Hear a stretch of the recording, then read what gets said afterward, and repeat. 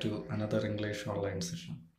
Today I am going to explain you the seventh chapter from the textbook Snapshot. The name of the chapter is Birth. Birth is an excerpt from the Citadel that revolves around Andrew Manson, who just graduated out of a medical school. It is an account of how the newly graduated medical practitioner helped in bringing Joe and Susan's child into this world, despite going through a tough time with his girlfriend Christine.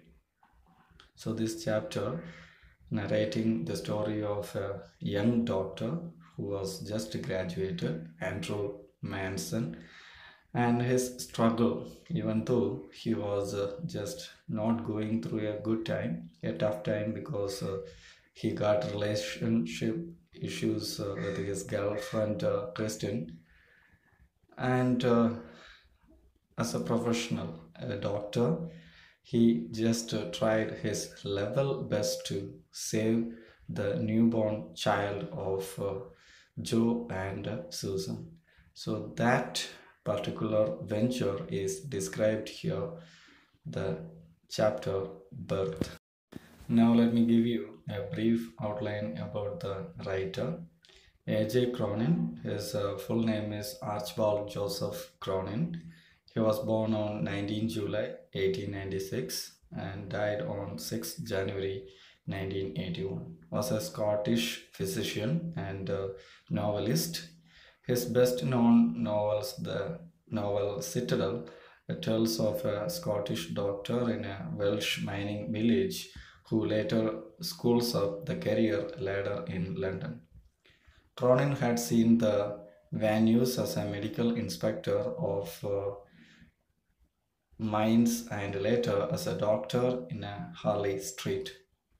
The book promoted still controversial ideas on medical ethics and helped to inspire the National Health Service. Another popular mining novel of his, set in the northeast of England, is The Stars Look Down.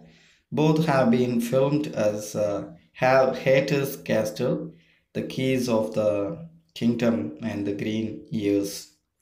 His novella Country uh, Doctor investigated a long running uh, BBC radio and TV series.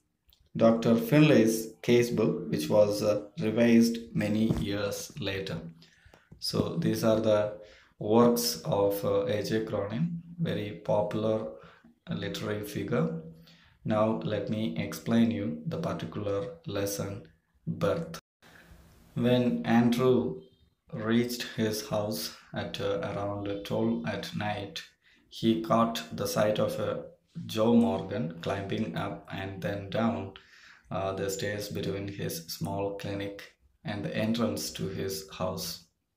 On seeing Andrew, the heavily built driller, Joe heaved a sigh of relief.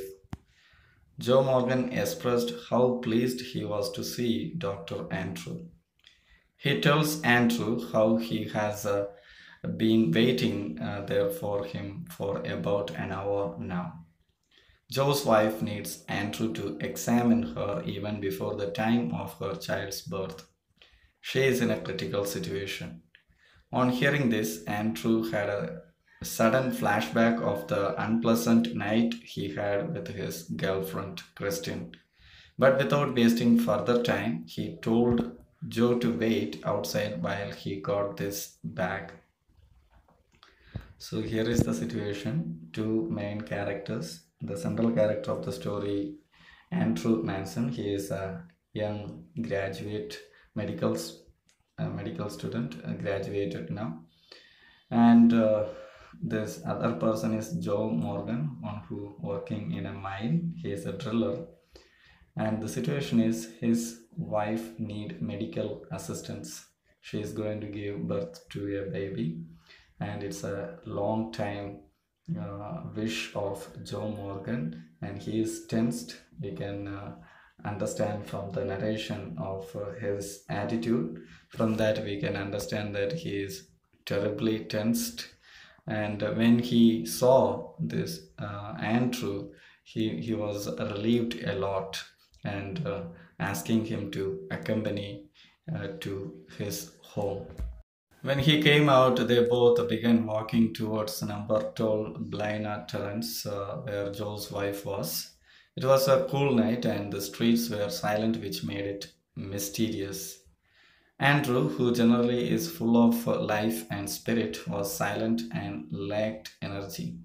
Andrew had no idea what the night had in store for him and uh, that it was going to influence his life in blindly.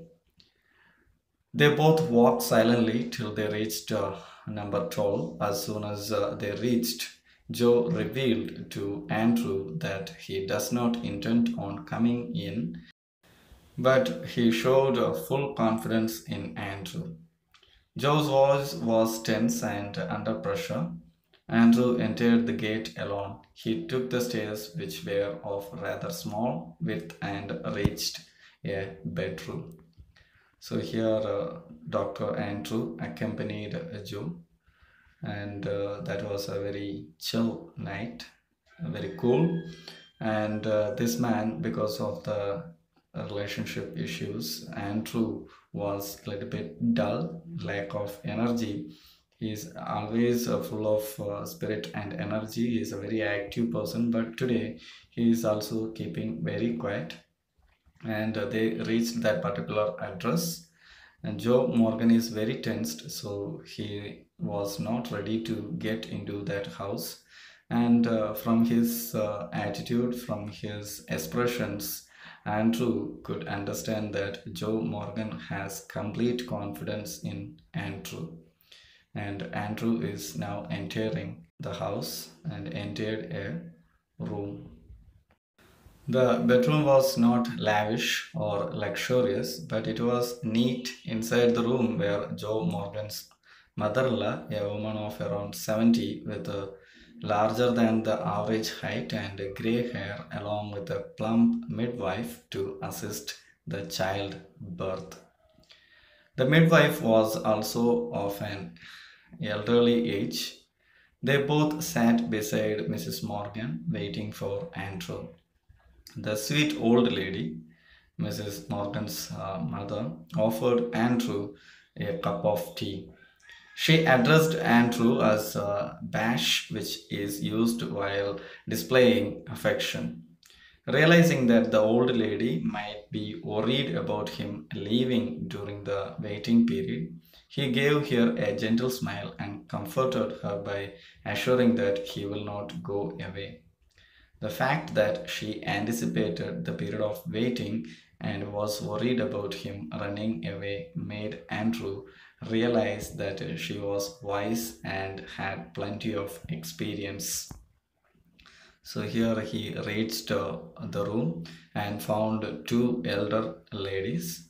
Uh, one is uh, Joe Morgan's uh, mother-in-law, the mother of uh, Mrs. Morgan, and another one is uh, a midwife who is uh, uh, assist in childbirth.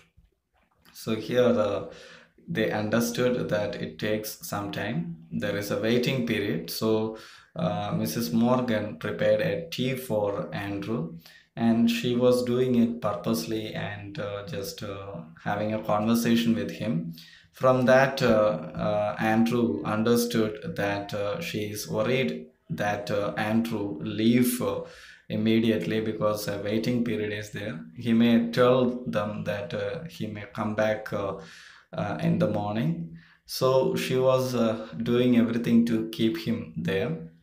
And andrew understood that and assured the old lady um, he is not going away. He won't run away uh, before finishing all these things. He just assured uh, with a smile that uh, he would wait here till everything ends.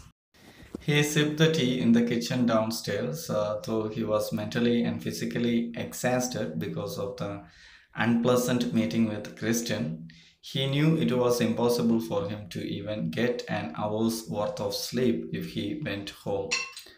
Although he in uh, his new line or practice, he was aware that the situation was critical and called for his uh, attentiveness. Strangely, he felt a bit active and decided to stay at the place till his duty was fulfilled. He went upstairs after almost an hour to check upon Mrs. Morgan. He sat near the kitchen fire upon coming back. It was that time of the night where everything was still. Andrew had his tea, and uh, though he was uh, mentally and physically exhausted, exhausted means very tired because of the unpleasant meeting with uh, Christine, his girlfriend. Uh, he knew it was impossible for him to even get an hour worth of sleep if he went to home. Even if he uh, go to home, he could not sleep because uh, the situation is a little bit worst. So he was uh, very new in practice, medical practice, and he aware that uh, the situation is uh, very critical. They need his attentiveness. Uh, so all those things made him a little bit uh, active. Uh, strangely, he is even though he is exhausted, he felt like uh, he is a little bit active, and he decided to uh, fulfill his duty. Then only he should leave from that place. The atmosphere is very quiet. The only sound that came was of the ticking clock, Joe's footsteps from the outside, and from almost uh, extinguished piece of coal. While he sat in the kitchen, Mrs. Morgan's mother sat in front of him, wearing her black dress. She looked at him constantly with her uh, wise eyes that uh, were uh, filled with hope. Clearly, the earlier unpleasant moments with Christian had taken a toll on his mind. He was still being haunted by the incident that took place at uh, station. He began thinking of his friends and acquaintances who have had uh, bad experiences in love and marriage. He thought of Bramwell, uh, the woman uh, he loved had cheated on him. He contemplated upon the relationship of uh, Edward Page, who was committed to a dominating woman uh, named uh, Blodwen. Uh, he reflected upon how Denny is living away from his wife not so happily.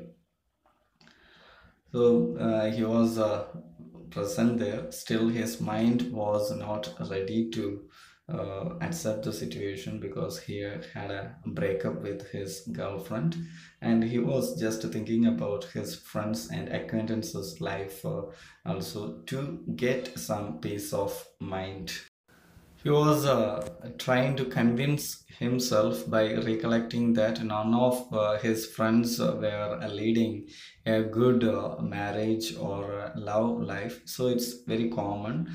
It's not only to him, but uh, many people are going through such situation. By the time the uh, elderly lady, Mrs. Uh, Morgan's mother, she was just uh, trying to keep him occupied there, uh, just uh, wa- watchful, very attentive that he should not leave from the place, trying to assist in every way.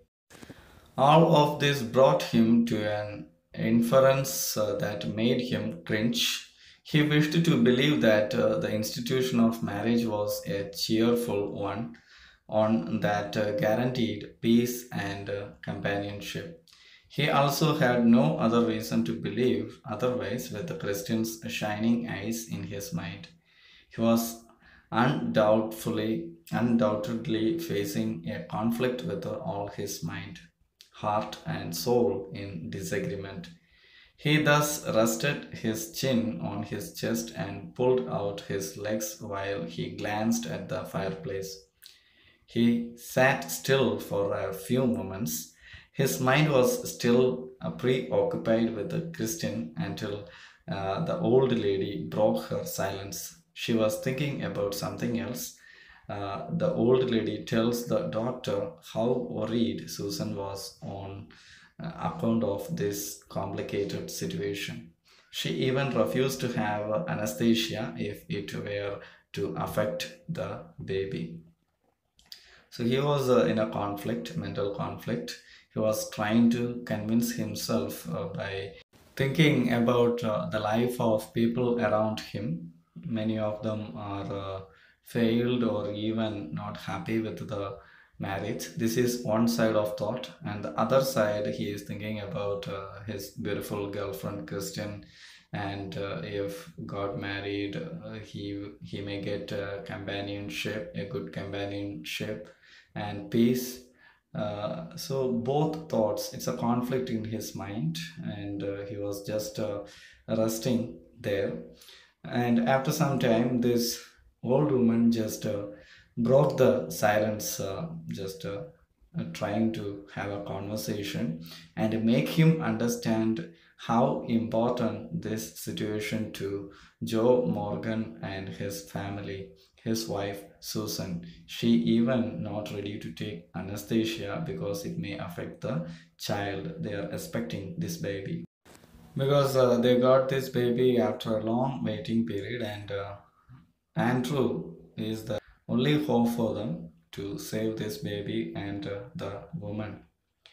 She told him how interested she was in the child.